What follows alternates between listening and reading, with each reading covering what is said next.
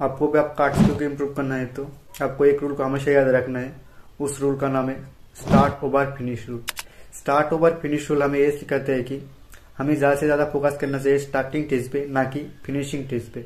क्योंकि हम जब फिनिशिंग करते हैं तब सिर्फ़ डिटेल को देखते हैं, लेकिन आपका बेस को स्ट्रॉन्ग करने के लिए आपको ज़्यादा से ज़्यादा स्टार्टिंग पे फोकस करना होता है. तो आर्ट का जो स्टार्टिंग टेज होता है, वो ज़्यादा मायने रखते हैं आपका बेस को स्ट्रॉन्ग करने के लिए. तो इन सब स्केचेस को बनाने में बहुत कम टाइम लगते है, लेकिन प्रैक्टिस उतना ही होता है। आपको रिपीटेशन बनाना है स्टार्टिंग स्टेज पे। आप जितना रिपीट करोगे, उतना ही आपका बेस स्ट्रांग होगा।